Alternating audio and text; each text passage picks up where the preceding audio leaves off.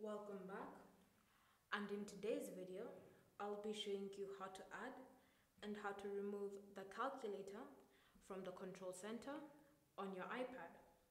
So the first step is to open the control center and to do this swipe down from the top right corner of your screen and then now we can start editing it.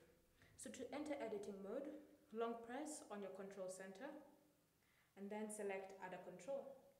If you can't find calculator in the first page, then use the search controls feature and type in calculator. Once you see it in the search results, tap on it and you'll notice it being added onto your control center. So you can choose to increase the size of the icon as well as moving it around. And when you're happy with how it looks, then simply tap on an empty space and the calculator will be added. So now, whenever you wish to use the calculator, you can just swipe down and then tap on calculator and it will launch. If you find yourself wanting to remove it from the control center, then it's fairly simple. Again, access the control center, then long press to enter editing mode. Next to the calculator icon, you should see this minus I button.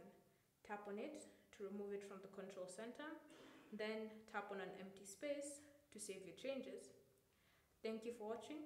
If you have any questions or comments, leave them down below and we'll get back to you.